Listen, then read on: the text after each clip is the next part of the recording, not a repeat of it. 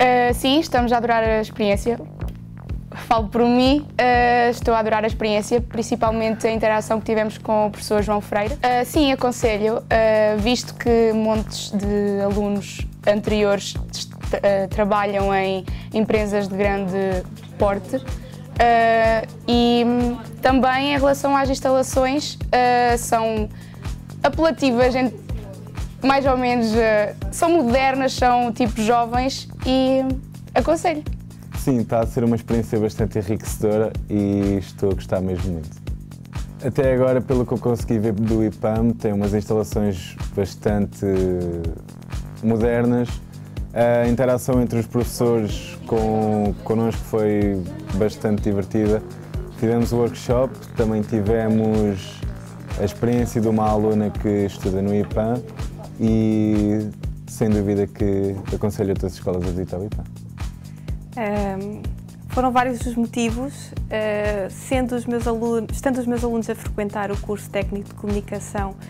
marketing, relações públicas e publicidade, achei que seria todo pertinente eles conhecerem aquela que é considerada a melhor escola de marketing uh, do nosso país.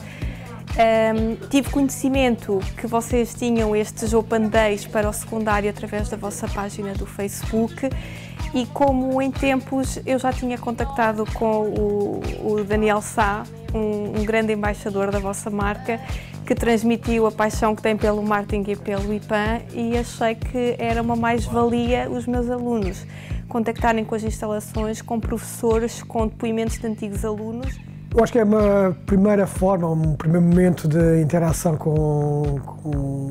o Instituto e com, com, as, com, as, infraestruturas para ver se realmente se gostam, se não gostam. É também uma oportunidade de conhecer alguns professores e de ver o aspecto e a interação entre professores e, aluna, e alunos na, no ambiente de, aula. Eu acho que isto lhes dá uma ideia, uma indicação realmente se estão a fazer a escolha mais acertada ou não, porque é uma escolha que vai ter implicações para o resto da, da vida deles. Por isso eu acho que é, é sempre útil testar o produto, vá lá, uh, para saber se realmente vale a pena ou não.